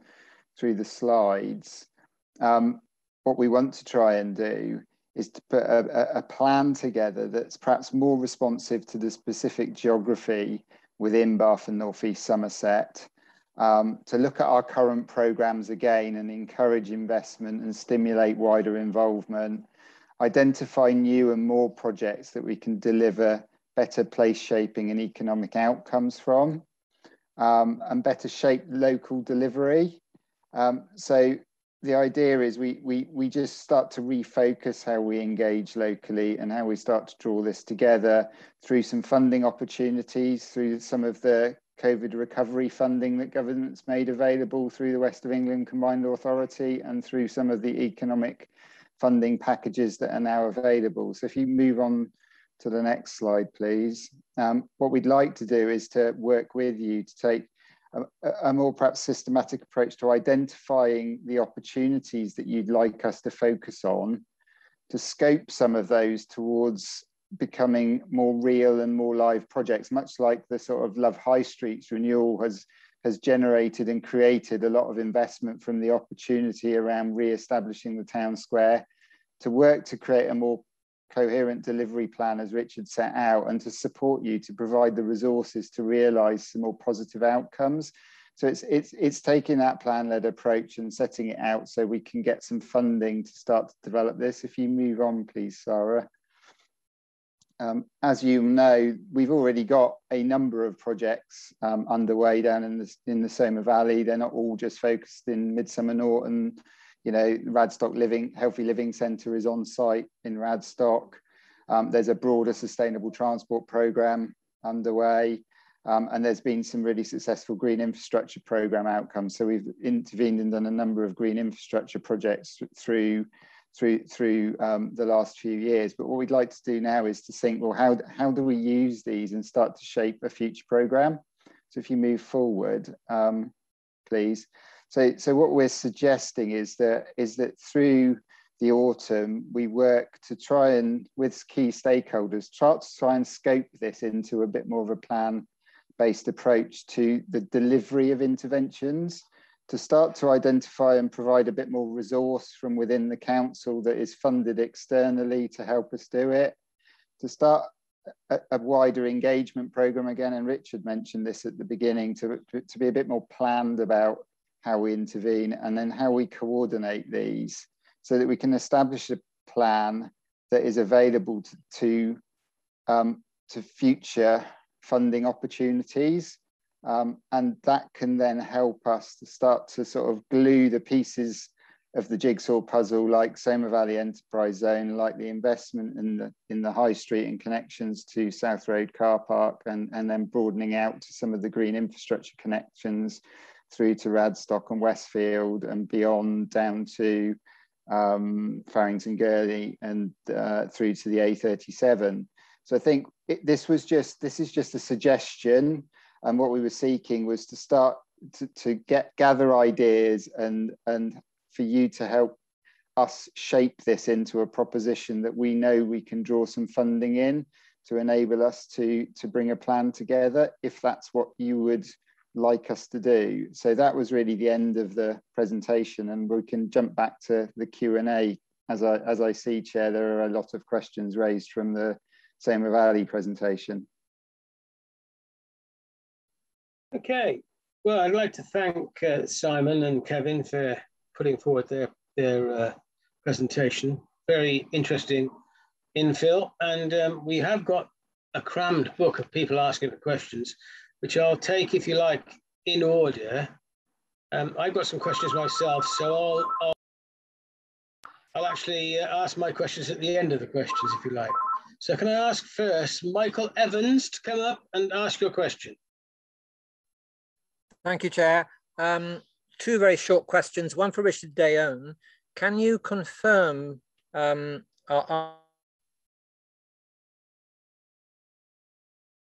our centre and to the town park actually, which has very limited parking space, that there is no scope in the uh, updated local plan to uh, release any of the South Road car park land for residential or other buildings. And adding on to that theme, could I ask of uh, Ed Whitney, um, you're looking at 1,300 jobs on the Somer Valley Enterprise Zone site. How many parking spaces are envisaged? Okay, thank you. Those are my questions. Uh, thank you, Michael. I'll, I'll answer those. Uh, well, the first question, uh, unfortunately, you, you sort of froze partway through your, your question, but um, basically, yeah, I can confirm that the, the, the, current evidence we've got is suggesting there is, there is, as things stand, there's no scope to release uh, car parking uh, spaces from the South Road car park. Um, so for residential or, or, or other uses. However, we have made reference in the partial update to keeping that situation uh, under review. Uh, you know, particularly in light of obviously the council's um, declaration of a climate emergency. Um, you know, it may be we relook at uh, charging policy, for example, in relation to in relation to that car park, uh, and then that may entail uh, a review of the number of spaces and, and, the, and the role that car park plays in the longer term. But certainly, current evidence shows that in the, in, in the short to medium term, we need the current number of spaces in that car park. Thank you. Thank you. And um, with respect to the amount of um, car parking proposed within the enterprise zone, um, we've been through a process of identifying what the correct or what the appropriate amount to provide would be. And we're, we're not um, where we are in, in, in, in the county um, provided with um, current parking standards, which is applicable in the planning process. Um, and so we've conducted a review of parking standards in other areas, such as in North, North Somerset, Dorset, and uh, the Bath Outer um, standard. We've looked at average, minimum, and maximum um, standards produced with each, within each of those documents. Um, and we've um, made an assumption around different land uses being able to share parking spaces because they're operating in non-conflicting hours. So, for example, a pub would have its, um, or, a, or a restaurant might have its parking demand in a different period to an industrial land use. And where we've arrived at in terms of uh, quantity of spaces is, is around between 700 and 750 is the is the number um, at the at the present time. Um, as I say, we, we're working with highways officers, and um, we'll they'll have their view on that. But that that's currently our estimation. Thank you. Um, I was going to ask my questions at the end, but um, in the light of what Michael's just asked and your answer, I'd like to ask where the devil you got the idea that your proposals would employ 1,300 people? I'm involved with the factory, which I'm not willing to take any more about, involving 398 people that I couldn't move here because of transport limitations. How the hell are you going to generate 1,300 people when the biggest area on the site is a storage and distribution network? That'll encourage trucks, cars, vans, and not many people. So is that is that question about the the estimated number of jobs that would bring into the area, or the amount of traffic it would generate? Absolutely. Cars, employment, and the number of uh, uh, commercial vehicles that that will generate, that, that style of business. The biggest business on that site is a storage and distribution one. So if I might start with that, and then others may, may step in. I, I talked about the range of, of types of uses here. So, so the, the single largest building um, is is yes a, storage and distribution use as you'd expect for that type of use. But if we look at the other uses on there, there's a mixture of um, of offices, general industrial, and then those um, retail leisure type uses. And it's that combination of uses on the site um, which which enable that number of jobs to be um, created or, or, in theory would, would, would be created. And that's been tested as part of the, the business case process and, and through an assessment of floor area against job creation per square meter. In terms of the parking or transport elements, Ed, Ed may wish to add to that. Uh, yes, so, so, you're absolutely right. You know, any development, and not least a large development like this one, will generate lots of trips, and those trips will be will differ by, by the land use. And some of the land uses will generate more trips than others. And some of the land uses will generate trips which, which are more likely to be motorized traffic trips like HGVs or cars than others. Um, what we need to do as part of the transport assessment is identify how many trips we're generating associated with these land uses and test the extent to which the existing network can withstand that extra demand and if we find that the extra demand pushes the existing network over and above what it can cope with, we must introduce the planning process insists that we introduce mitigation measures to offset those disbenefits. So that's essentially the approach that we will take in response to the trips generated by the different land uses. Okay, well, more about the land uses when, when it comes to my question. But I've got to say to you, 1,300 employees have to come from the area that they're being asked to walk or cycle from, which presumes that 1,300 people are already employed and trained in similar jobs. How do you condone that?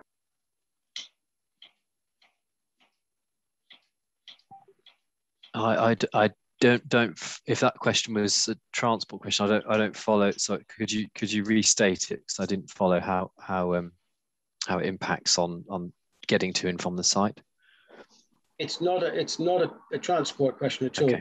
Thank you. It's a question that you say 1,300 jobs created. To fill those jobs, you have to have people who are capable of doing those jobs, presumably trained to do so. And there aren't 1,300 people in, trained in those style of jobs in this area looking for employment. So they'll have to travel in, but you're telling us they have to cycle or walk. Can you explain that, that differential? May I, may I come in there, please, Chair? Ed, can I come in there if I, if I, if I may? Go ahead. Sorry, um, Chair. The, one of one of the aims is is to stop the or to try and reduce the amount of out commuting from Midsomer Norton into um, into uh, other locations, and that's that, that's one of the, the, the aims of, of the introduction of the, of the enterprise zone is to is to retain those uh, jobs within within the local community. I hear I hear your point um, in relation to uh, those those people being trained. I, I, can't go into details of a particular operator, but we are talking to a particular operator who has identified that in terms of the skills set that they want for, for a production facility uh, in in the enterprise zone, they very much see that um, the skill set they require is is is is in Midsomer Norton and in the Somer Valley. Um, so we our expectations are that those, those skills can be generated and can be developed um, in the uh, in uh, through through the occupiers and the employment uses taking place on site. The other thing I suppose that is also worth saying is that we have a very good local college um, at uh, in Radstock, um, and there will be significant skills that, and there will be a, a cross play between skills development um, and um, employment on the enterprise zone. And we're working very closely with our business and skills team um, to develop um, a set of interventions which allow and enable people to be upskilled in the particular um, skills that will be required for the occupiers on site.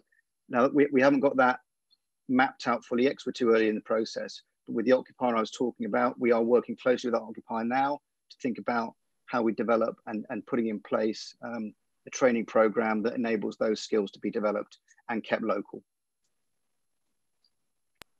Okay, thank you very much. Um, I'm aware of the time frame, so can I ask for the next question, which is down on my list, is Eleanor Jackson. I, do you want all the questions all at once, or um, shall I take them as under the different subject headings? But I think it's absolutely outrageous that we have an officer state uh, talking about a college in Radstock when in fact it's in Westfield. And all the slides that we've been shown, only one had Westfield on it. Um, and it, you know, if you're not aware of a really important community, which is historically uh, an enterprise and skills zone in its own right with um, self-generating businesses and inventions, um, you know, I'm really rather annoyed, quite frankly, as the ward member for Westfield, and I imagine um, a chair is as well. However, the questions are, uh, first of all, it's an admirable uh, concept about walking and cycling, but it's not much good if we've got, uh, I, I, mean, I wonder what you're going to do about, it diplomatically, what are you going to do about the state of the roads, the potholes, and the fact that in many areas, particularly in Westfield, but also, dare I say in Radstock, um, you can't get along the pavement because of the vegetation overgrowing it. And that includes vegetation from council sites. Um, second, so uh, what are you going to do about improving walking and cycling facilities? Secondly, um, I've done a lot to try and, and so has Councillor Hardman, to support the 82 bus, which runs between, uh, well, this is one of the issues. Can we do anything to get the full bus route restored, uh, as it's now on a shortened route, but it goes through to Tyning in Radstock. And I'm asking um, that and other local rural bus services, is it possible for you to cooperate with Wiltshire and with Somerset? Because many of them cross county boundary lines and it seems there's a, an issue about getting them subsidised. So can you do anything about that? Second, uh, thirdly, I'm delighted uh, to hear about the Economic Board. uh, I was wondering if you might consider reinstating what used to be called the Radstock and Westfield Task Force, which was very local, but which was a dialogue between members of the council, both officers and councillors, and local businessmen. And I think, uh, you know, would you consider putting that back? Um, but the thing I think I'm most concerned about is that, um, and Councillor Hardman can probably talk more about this, is the fact that time and again we have a major development, but there's nothing of community benefit. Uh, consequently, on the Purnell site, we've lost the prospect of an um, old people's home. The same applies to the, uh, what do you call, Fosseway South site. And even, dare I say it, Odd Down in um, Bath, we've lost three major sites that could have provided adult social care residentially for those who need it. So I'm wondering what you're going, you know, are you are you going to make any provision in all these plans for community facilities? That's your lot. That's your weather forecast. yes, uh, Richard Daone needs to talk to you about this uh, somehow. Uh, can you answer us briefly? Yeah, I can pick up pick up the last um, question. I, I, think in terms of community facilities, obviously I did reference the early years education facility on the on the Purnell site, enabling delivery of that, and, and that that is a community facility. But in terms of um, elderly persons uh, accommodation, that to be honest is something that we need to address through uh, from a planning perspective through the preparation of the new local plan. Uh, and we will be um, looking to collect evidence uh, around both the, the need or demand for that type of accommodation across the district, also looking at you know the current supply of accommodation um, and the longevity of that and, and, condition of that supply, and then really looking to uh, help develop a strategy uh, as, as to where future provisions should be made and the local plan will be able to potentially identify and allocate sites to help facilitate that delivery. So the short answer is, is it's not something we're, we're addressing through the partial update because that's addressed addressing some specific focused issues, but we will be looking at it through uh, through the new local plan in uh, conjunction with both communities and our colleagues in uh, adult services. Thanks. Chair, I could just add to that. I mean, I'm glad, you know, I, I intentionally highlighted the point towards the end um, that, you know, we do need to recognise the individual um, contributions of each community, um, specifically around plans um, and ideas that you know, Westfield um, and you know where the college is and the other industry and um, creativity that's gone on historically in Westfield, how that can contribute. So Eleanor's suggestion of you know reinstigating the task force, I think that might be very welcome, and I'd like to follow up on that. So perhaps that's something we could sort of discuss and move forward. Um, on the maintenance issues, um, there are we're we're working, and if Phil is still on the call, um, there is a regional settlement. So um, uh, we are expecting in the autumn statement um, to get a significant investment in transport maintenance and improvement. Um, and the council already allocates a significant amount of capital to pothole filling and maintenance. That's likely to increase. And we have a very good system actually of reporting potholes. So it's that, and the online portal to do that, we could perhaps share the link and, and send it round. But actually, we've been really effective where we where we know about potholes. Potholes are often filled and responded to very quickly. So if there are particular locations that are particular hotspots of, of concern on the highway network, um, in, in your wards, then that is definitely something that through that mechanism we can actually track and monitor and respond to pothole filling very quickly now. Um, and, and, we're doing that very effectively across the district. Um, and I think, you know, just highlighting the last point um, on the adult and social care, I think it's a combination that um, the council is looking to be more active, particularly in social housing delivery, and we are preparing a, a, a, you know a social affordable housing delivery plan, and that is very much picking up some of those market failure points, Eleanor, around the fact that the market doesn't deliver certain aspects of adult social care, particularly in terms of the care provision um, and um, and uh, and accommodation and affordable accommodation. And we are trying to start to pull together a plan that looks to address that very specifically in locations of need in the district. So where they are identified in the plan process, we can start to have a, a, a program where we can look at investing and developing those sites or those locations to meet that need.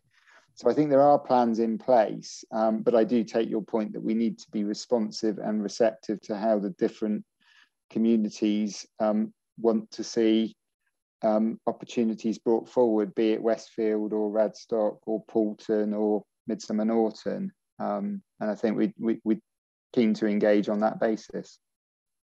Thank you, Chair. Okay, can I jump in then um, and say that um, I'm going to be the big bad chairman and say that we're running disastrously over time. Um, a lot of very vociferous questions, I think, are needed and need long answers. So I'm suggesting that anybody who's on my list, if I call you out and you uh, have a question uh, that's, that's considerably long or would like to meet with people, you contact Sarah or Alison by email and they'll make sure that you're put in touch and those um, holes, uh, those um, arguments can be put forward face to face if necessary, or maybe even ask the people to come to the next meeting. So let's quickly move on. If you haven't got a, if you if you can do that, please do. Let us know straight away. So right now, the next person on my list is Damien Valentine. Um, yeah, this is, I'm going to keep this short. Um, I would like to, uh, I would like to have spoken to uh, Phil Wright, but obviously he's uh, left now. Uh, but also, um, Councillor Richard Samuel, um, you, you raised a point that I share about the public transport in the area is not um, that great. And for a lot of because uh, I live in Timsbury, uh, so we have a terrible bus service along the, the B3115. So I'm worried that this new corridor scheme is going to forget villages like us, and we're just going to be left with nothing, uh, which is going to drive people to um, use cars because where where I am Timsbury, walking or cycling to the A37 or the uh, A632, that's not an option because there's hills and um, what do you do when you get there? You can't just leave your bike in a by the bus stop, uh, and people aren't fit enough to do it, and it's just not feasible. So people are either going to drive or just not go anywhere, which means these villages are going to be cut off. So um, Clive Turner and I were discussing an uh, proposal uh, before COVID hit um, to to run a, a, direct service between Bath and Wells that would keep these villages connected. The idea was you got two uh, two important uh, popular destinations on each end of the route, but it also keeps the villages uh, in the middle connected with a sustainable bus service. And we had a lot of interest from uh, James Freeman, who's now left First Bus, and other bus companies in the area. And obviously, COVID hit, so we didn't get too far with this as a proposal, but it's something that we think would fit in very well with this corridor scheme that is being considered. So we, we would like this proposal to be considered along with um, what, what's going to happen uh, next in the future for local buses. Yeah, may I uh, speak, uh, Chair? Uh, just to endorse what Damien is saying there. Um, doing some quick research, it, it looks unfortunately that if this consultation, looking at the two main corridors of the A37 and the A367, do not take into account what I am calling the Forgotten Valley, i.e. the B3115, the Cam Valley, which actually has in the region of approximately 7,000 inhabitants. It cannot be accepted that we must make our way to those two main corridors. It, it's just not feasible. Uh, geographically, topographically, uh, and everything else, uh, demographically, it will not work. So we're making this point now so that when the consultation, and sadly Mr. Wright has gone, when the consultation does properly kick off, it is not restricted only to look at the A37 and the A367. That's all I've got to say. Thank you uh, very much. I'm sure you're not Mary Turner, but still. No, funny that. Um, it's my wife's computer because mine decided not to play. Um, so I'm incognito. No, it's Clive Turner. Cl okay, Clive, I know that. Um, can we move on quickly then, please? Liz Hardman. I'm going to be unusually brief for me, uh, but I do want to say something because the Somer Valley Enterprise Zone is totally in my ward in Paulton.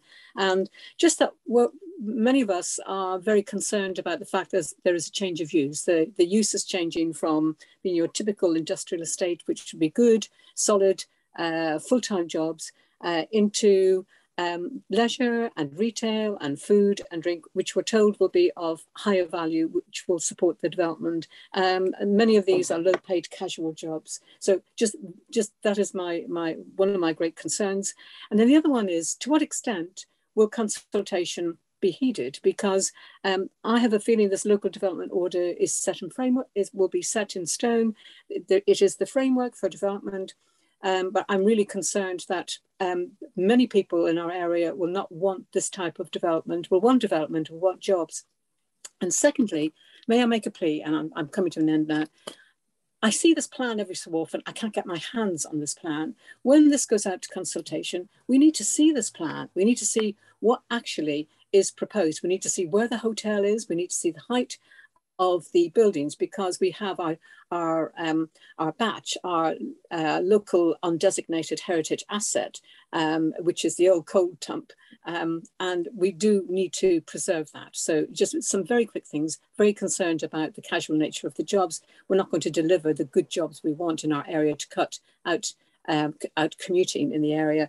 And secondly, we do need to be assured that consultation will be taken on board, um, especially when it comes to um, reviewing the design, the, the design review, and then make sure, please, that we get a plan. Thanks. Thank you, Liz. Um, bear in mind what I said. Uh, email Sarah and Alison. I know you meet them anyway, but email them and give them a list of your concerns and see if they can help you in any way with those that paperwork. Can I move now quickly on to um, Ryan Wicks, please? Uh, hello, yes, I'll try and be as quick as possible. Um, so firstly, with the Somer Valley Enterprise Zone, although we didn't mention it in your slide specifically, in the previous presentation about the WECA transport corridor improvements, it was stated about um, improving walking and cycling from neighbouring villages to get to the A37. So I just find it quite bizarre that uh, with the Valley Enterprise Zone, the funding, WECA pulled the funding the cycle lane to the A37, I just didn't seem like it's more joint up thinking. And I just want to um, reiterate again, I think it is important to um, uh, reassess that, particularly as that as the funding was pulled prior to the climate emergency declarations uh, that were made. Um, and then the couple more specific questions I had was um, with regards to the pinch point at Sunnyside, extending the road there, something I'm supportive of that and these other measures within Farrington Gurney are things I'm sort of, of, and I think they're much needed improvements.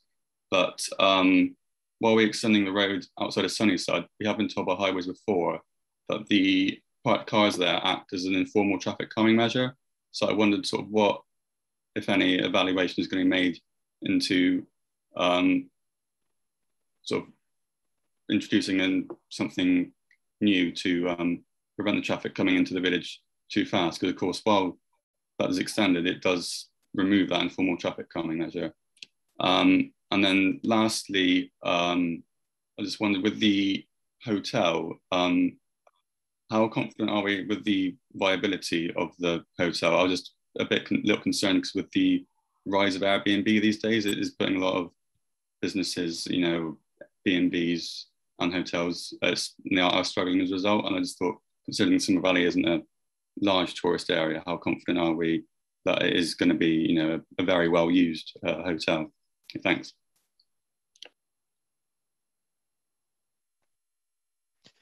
Should I come in on the transport related questions, Chair?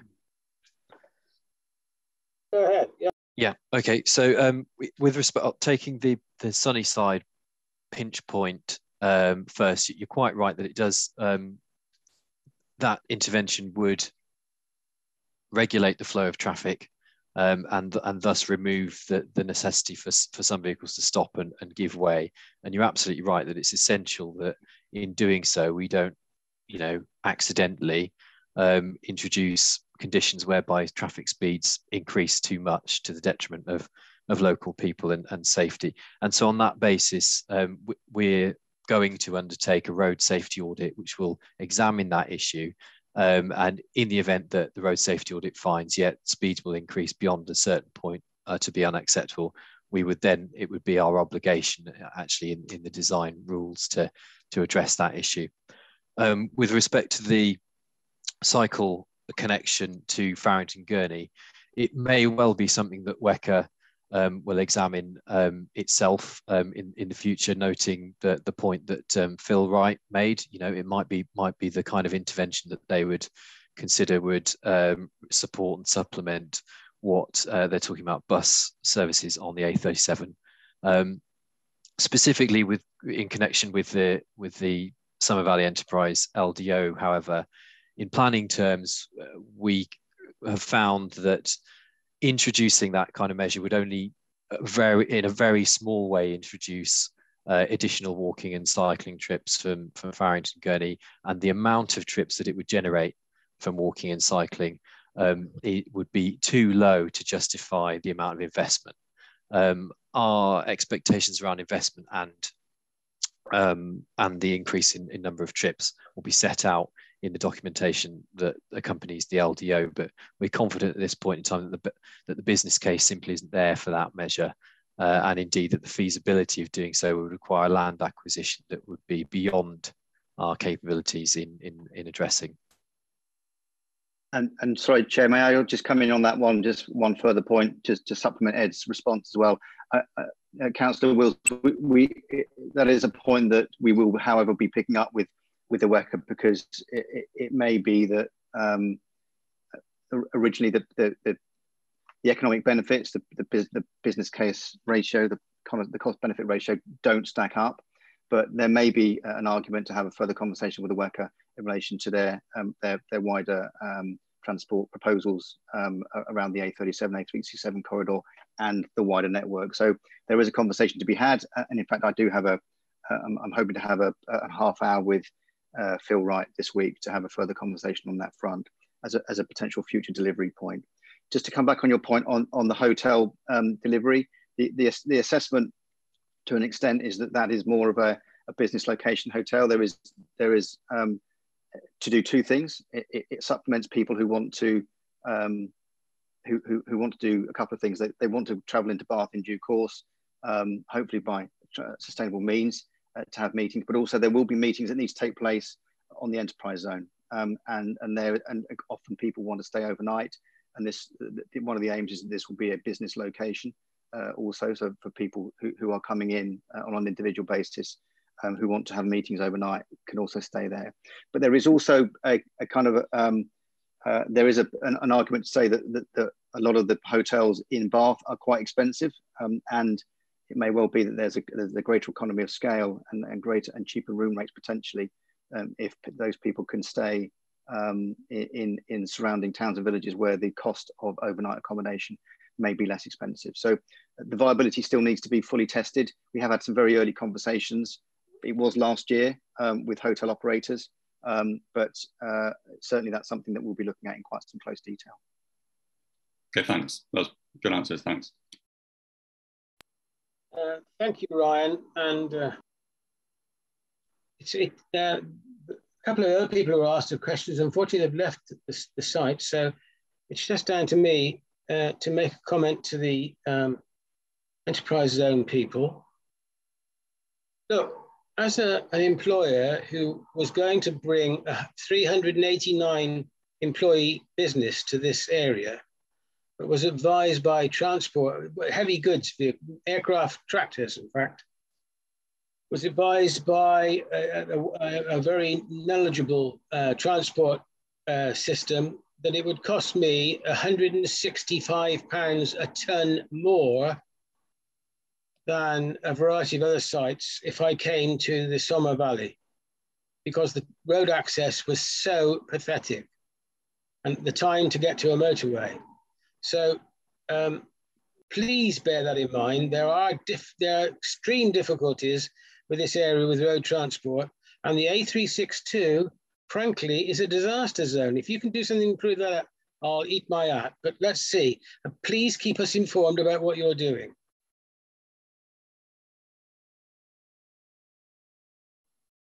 I think at that point we have to draw we have to draw an end to the uh, to this particular section. I think I'll hand you back to our chairman, um, who will um, will take on from now. Lynda, over to you. Thanks very much, Ron. I appreciate all you did. And thank you to all the speakers who came. We are now moving on to the AGM of our meeting. So if those speakers, if you'd like to leave, please do so. We won't be offended. But will everybody else please stay? Okay, because we need to be quorate for this. Okay. Uh, thank you for your time, everybody. Thank you, Chair. Okay, no, thank you, Richard. Right then.